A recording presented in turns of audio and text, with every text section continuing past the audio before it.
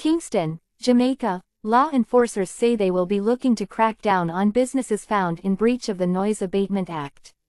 Commissioner of Police, Major General Antony Anderson, says with the recent lifting of the COVID-19 restrictions, the issue has become a cause for concern, particularly in the entertainment sector.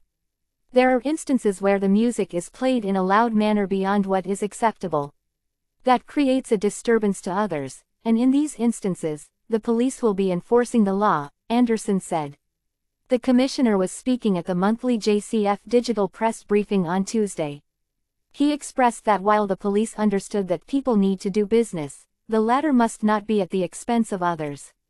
We are of the view that everyone can coexist if the music is maintained at a level that does not create a great disturbance and conforms to the provisions of the Act.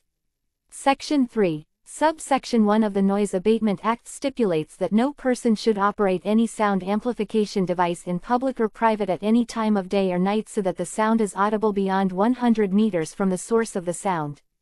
In the meantime, the top cop shared that as the police continue to roll out campaigns to curb crime, Operation Paradise will be mimicked island-wide.